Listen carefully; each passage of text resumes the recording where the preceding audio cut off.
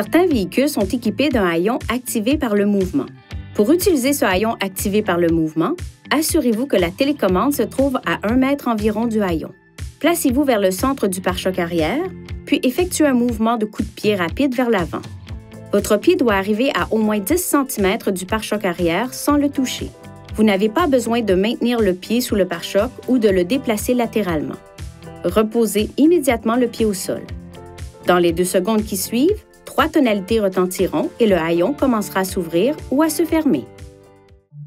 Veuillez consulter le manuel du conducteur pour obtenir des renseignements importants concernant la sécurité et les limites du système et pour en savoir davantage au sujet de son utilisation et de ses caractéristiques.